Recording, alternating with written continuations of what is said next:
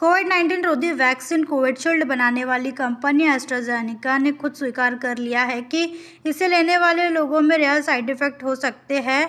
The telegraph UK की report के मुताबिक ब्रिटिश फर्म दिग्गज एस्ट्राजेनिका ने स्वीकार कर लिया है कि उसकी कोविड वैक्सीन के रियल साइड इफ़ेक्ट हो सकते हैं। वैक्सीन निर्माता ने अदालती दस्तावेजों में कहा कि कोविडशील्ड दुर्लभ मामलों में एक ऐसी स्थिति का कारण बन सकता है जिससे खून के टिक्के जम सकते हैं और प्लेटलेट की संख्या कम हो सकती है। महामारी के दौरान एस्ट्राजेनिका और ऑक्सफोर्ड विश्वविद्यालय द्वारा विकसित कोविडशील्ड का उत्पादन सीरम इंस्टीट्यूट ऑफ़ इंडिया द्वारा किया गया था और देश में व्यापक रूप से इसे लोगों को दिया गया था।